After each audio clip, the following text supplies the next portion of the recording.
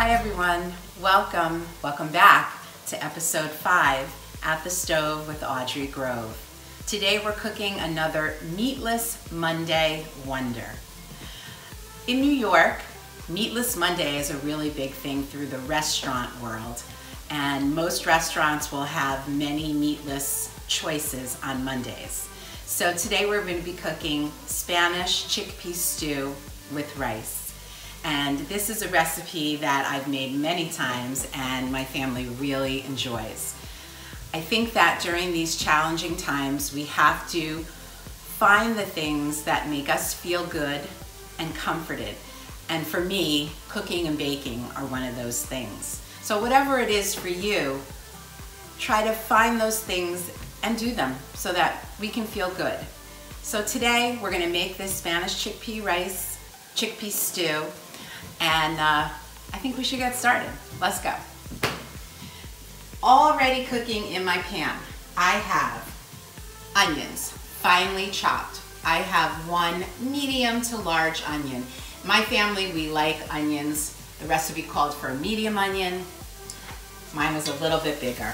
So the onion needs to be almost translucent, which it is. The next thing we're gonna add to that is some minced garlic. So the first thing we wanna do is, let me come a little bit center so it'll be easier for my cameraman. We wanna peel the garlic. By the way, before we even get cooking too much, I do wanna say thank you to my wonderful husband who has been my cameraman through this quarantine time. So thanks, Mark. All right, so we peeled the garlic and now we're gonna mince it. I have this really nice little mincer. You can chop it by hand. This works much better, I think. So the recipe calls for three cloves of garlic. And I know in my family, we enjoy garlic, but we don't like too much of it. So I changed it to two. And that seems to be just right for my family. But when you're cooking, you can decide how much garlic you like. Maybe you don't use any garlic at all. So we're going to, I've got this on a very low flame and I'm gonna cook it until I can really smell that beautiful, fragrant garlic. But I don't wanna burn that garlic because what happens? It gets really bitter. Okay, so I think that's good. The next thing we're gonna do is add our spice blend. So this is a blend that I made up. Maybe we wanna get a nice picture of those colors. This is smoked paprika, chili powder, a little bit of pepper, a tiny bit of salt, and a little bit of cumin. And if you're interested in making this recipe yourself, you can ask Carrie Hatch for the recipe and it gives you the exact. I like to put all the spices together in the bowl, mix them up before I start cooking with them. So now I'm going to just gently mix these spices into the onion garlic mixture. If this was smell-o-vision, right now you'd be thinking, oh my God, this smells so good. I want to taste this. I promise you it will make your whole house smell delicious. Sometimes when I'm looking for recipes, I go online, I ask friends and family what recipes they've made that they really love. I go through all the cookbooks that I have and I do love cookbooks. And that way I always find that I'm more willing to try something new than just the regular repertoire that I always make during the week. So this uh, Spanish chickpea stew, I started making about two years ago and even my husband, who's not a vegetarian, because this is a vegetarian dish for Meatless Monday, even he really loves this dish. So if you're afraid of trying something new, here's a really easy way to try something new because I've already made it and it comes out amazing. Okay, so we let those onions, garlic, and the spice blend just fry gently in the pan because I've already added a little olive oil to the onions. I'm just gonna consult my recipe and what I've done is when I print off a recipe, let's say from online, I always put it in a plastic sleeve so that it doesn't get dirty and yucky. Okay, so now we're gonna add a choice of either tomato paste or ketchup. The reason I say either is I don't have tomato paste and I'm gonna use ketchup instead. So because ketchup is a little bit sweeter than tomato paste, I'm gonna have to adjust a little bit on some other ingredients and we'll get to that later. So, ketchup. These times are all about using what's in your pantry and unfortunately, I'm all out of tomato paste. But like I said, I have made this before with ketchup and it comes out really good. So we're gonna put in, let's see, where is that tomato paste? One tablespoon. So it says one tablespoon of tomato paste. I'm gonna put in a little bit more of the ketchup because tomato paste is super concentrated.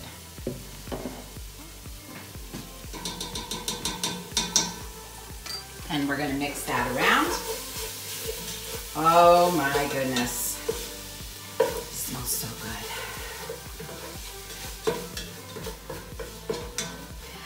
I like actually the using the tomato, uh, the ketchup because instead of the tomato paste because it gives it just a slightly sweeter flavor. Okay, so now we're gonna take, I'm gonna turn the stove off because I don't want it to cook anymore. And I'm taking my can of whole peeled tomatoes and I'm gonna put them in a bowl. I like to get every last bit of juice. And we're gonna mash them. And there's lots of different ways that you can mash them. I'm gonna start out with my potato masher. And we just wanna break up the tomatoes so they release even more of that wonderful tomato juice.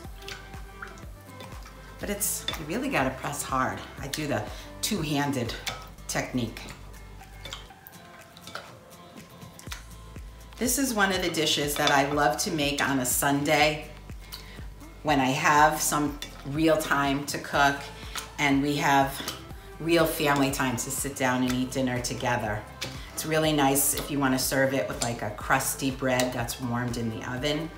I serve it over rice and you can serve it over brown rice, regular rice, a rice medley, and that's what I'm gonna be using today. I'm gonna be using a brown rice medley. And we'll get to that later. Okay, so these are, these are looking good, but now I'm gonna take my knife and I'm just gonna kind of, and a spoon, and I'm just gonna kind of go through it to make sure that there's not any super large chunks of tomato. And you're probably asking, well, why don't you just buy a can of diced tomatoes? But for some reason, the way this recipe works, this is the way it works best. So we're gonna go with it. Okay, making a lot of noise, sorry about that. Okay, now I'm gonna put this, put the heat back on, but again, really low.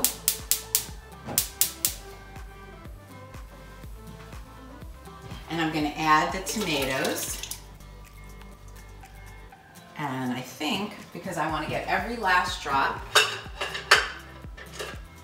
take my little spatula that has curved edges and get all the tomato juice and all those little bits of tomatoes. Oh my gosh, I can't believe that I haven't talked about what I'm wearing. So, ta-da! My birthday was two weeks ago and my amazing cousin Susan sent me this apron at the stove with Audrey Grove. I just love it. I love a good theme. Okay, so added the tomatoes. I'm gonna let this sauce thicken, but first I'm gonna give it a nice stir. So remember, this is on low. If I put this on any higher, the sauce is gonna almost start to boil, and we don't want that. We just wanna keep it on like a low simmer. I'm gonna add a little bit of brown sugar that I already have here. And I'm not gonna add all of it because I'm, i want to taste as I go along. Might not need all of it. The tomatoes themselves are acidic and tangy, and the brown sugar just kind of helps temper that acidity. Okay, so there we go. We're going to let this cook on a low heat until it starts to thicken, and we'll be right back. Hi, we're back. Our sauce has thickened up nicely. I'm gonna bring it over so you can see that deliciousness. And I really wish that you could smell this. Oh, smells so good. Mm. Okay, so the next thing we're gonna do is we're going to taste the sauce to see if we wanna add any more of the brown sugar. So I'm gonna just give it a little stir and then, oh my gosh, it's a perfect combination between the acidity of the tomatoes, tiny bit of the sweetness of the brown sugar, and then the spice blend that just like makes the flavor explode. Right now my husband's laughing at me because he thinks I'm being very dramatic, but it's true. Okay, so sauce is good. We're gonna put, uh, the recipe calls for one can of chickpeas. I like two cans because I like this really filled with protein. And the chickpeas take the place of any meat protein that we would be using. So I drain the chickpeas, two cans, and then rinse them really well. And in they go.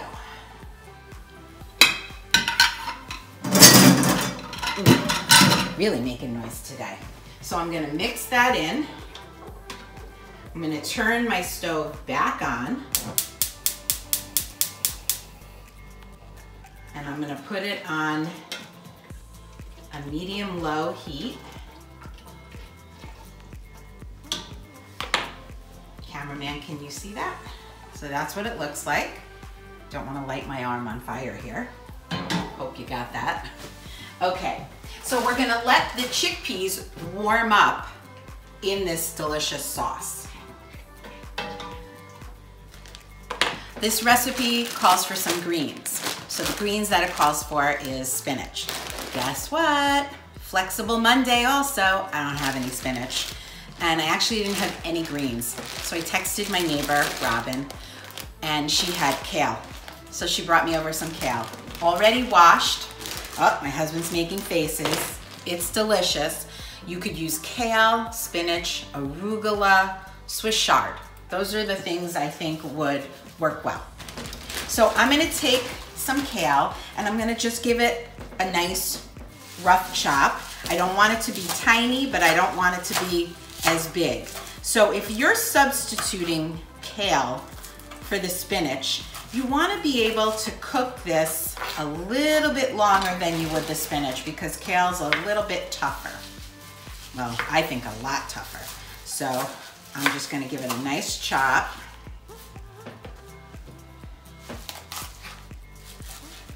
So we have small pieces of kale, maybe one more handful.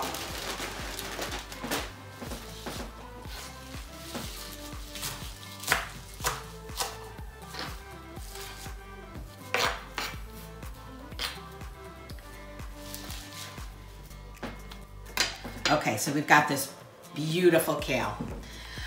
Our chickpeas are taking a nice warm bath in our tomato sauce. I can be dramatic. And um, this way they absorb that amazing like Spanish flavor from the spice blend that we made. And then we're gonna put in our kale.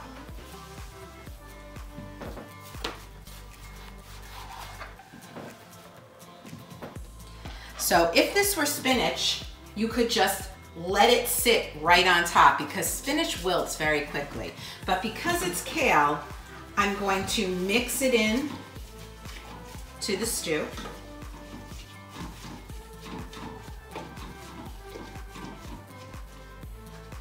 I'm gonna add just a tiny bit of water because when this cooks, I do not want the sauce to stick to the bottom of the pan and I don't want the sauce to cook down to nothing. Okay. Good. So now I'm gonna take the cover, cover this up, and let's see. And we're just gonna let that kale wilt and cook a little and the chickpeas to really get warm and immersed in that delicious sauce. So we'll be back when it's over. In the meantime, I'm gonna make my rice. Wanted to show you this rice. This is, um, I'll give a shout out to Trader Joe's because they have just the best stuff. This is a brown rice medley and it's a delicious blend of long grain brown rice, black barley, and daikon radish seeds. I'll be honest, I've never um, made this one myself. I've had it at a friend's house, so I went and bought it because it was really good. So when we come back, everything will be ready. The rice, the stew, and uh, we'll get a look at what the finished product looks like. So during the break, I cooked the rice. And remember, this is a brown rice medley, but you can use any kind of rice that you like. When I made the rice, I wanted to give you one of my tips, is it says to boil water. So what I do is I cook the rice in vegetable broth, or you could use chicken broth or beef broth, but remember this is Meatless Monday. So I buy this um, vegetable broth that I, it's concentrated, and you take a teaspoon, put it in, mix it, and it has a really good flavor and the rice has a really good flavor. So, one other thing that I forgot to mention when we were cooking the stew is that there's a lot of things that you can improvise and add in this recipe. And one of those things is some other vegetables. And I didn't write it on the recipe that I use all the time, but I like to add carrots to here, diced carrots. So I went during the break, this is really hot, and um, cut up four to five carrots, diced them, and then cooked them in the microwave. So I'm just going to add them in. It's really, really hot, so I'm trying not to touch it.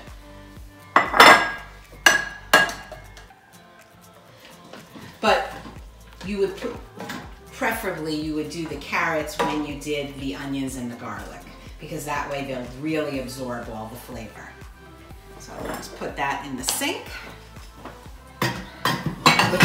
starting to get full, so my cleanup crew I hope is gonna be here soon. Haha. okay, so let's plate this up. So we're gonna take some beautiful rice. I'm gonna bring over the rice just so you can see the, uh, the texture and color of this gorgeous rice. This is that brown rice medley. It has daikon radish seeds and something else that I don't remember the name of. and now we're going to take some of our beautiful chickpea stew and ladle it on top.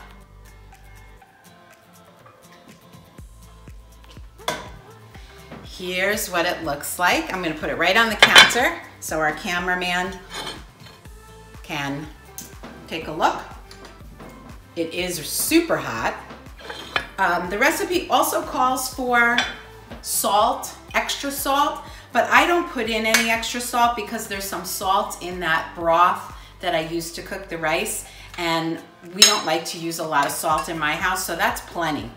So I really wish you could be here with me and smell the delicious spices, the cumin, the paprika, the chili, Added a little bit of pepper in here, a touch of salt to the cooking process, the tomatoes, the onions and garlic. It's so fragrant. So let's take a little taste. And you could also put cheese on top of this or even sour cream, whatever you like. You could shred some cheese. This is really, really hot, so I don't wanna burn my tongue. Oh, so good. I hope that if this recipe interests you, that you'll make it because not only will your house smell delicious, but your, your stomach will be filled with this love. So I saw a great mug when I was reading a magazine the other day and I loved what it said and I'm gonna have a little poster made. It says, cooking is love that you can taste. Isn't that great? I hope you guys are all doing well. And from my house to yours, be safe and be healthy and get cooking.